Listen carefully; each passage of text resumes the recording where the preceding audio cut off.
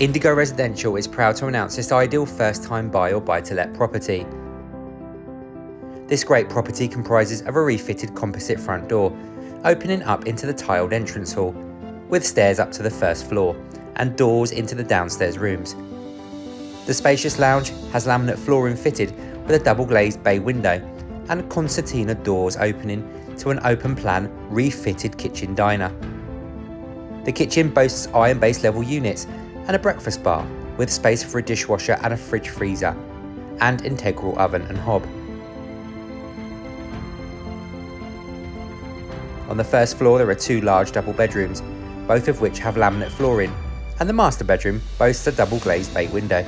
Bedroom 3 is a great size single.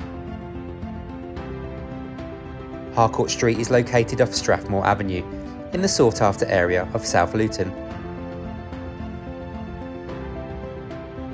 The bathroom has been replaced and consists of a white three-piece suite. Externally there's a small low maintenance front garden and at the rear there's a private garden with lots of seating areas and a flat grass lawn. Indigo Residential highly recommends this ideal first time buy or buy to let property